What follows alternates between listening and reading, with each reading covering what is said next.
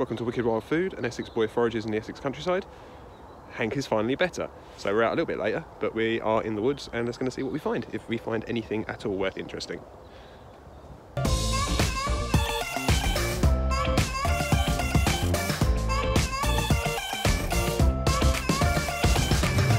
So down here we found some sulphur tufts. Horrible things, but they grow absolutely everywhere. But I quite like the colour of them. So let's pick one. As you can see, can you see that? I don't think you can. Let me pick a bigger one. They've got a really weird green inside. Let me cut the camera and show you. So that's what they look when they're in the ground.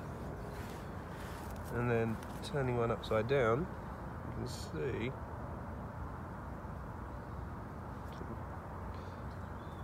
in real life it's a little bit more yellowy.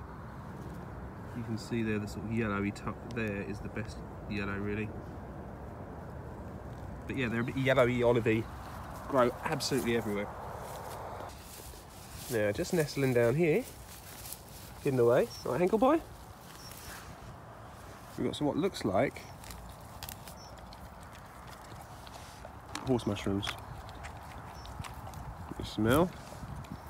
Oh yeah, super aniseedy smell, which means that's an edible. Let's just crack the step. Hank, stop it! Hank, stop drinking water. Hank, stop it. Just crack that. No yellow. Yep, that's a nice little, nice little crop of tasty mushrooms.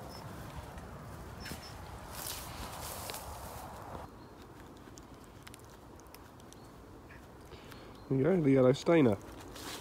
Looks like a perfectly good mushroom. Bruises yellow. See stem bruises yellow as well. So I haven't got enough free hands. As you can see. Yellow. It's a King Alfred's cake. Good as firelighters.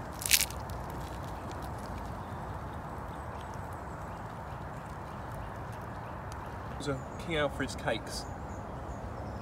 I guess because King Alfred used to burn his cakes.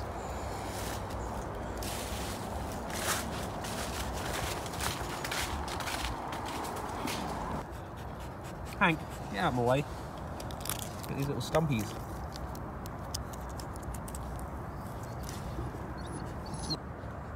So these are slightly bigger. I'll just cut one in half. Actually, actually, I'll rip it. So there you go. Totally edible. Quite a few of them grow together. Now, just like all members of the puffball family, you don't really want to be on the business end of this when it ejects its spores. Can cause real eye irritation problems and some real lung irritation problems. So make sure you're downwind and your face isn't right in the thing. These are called sheep mushrooms. They look just like sheep.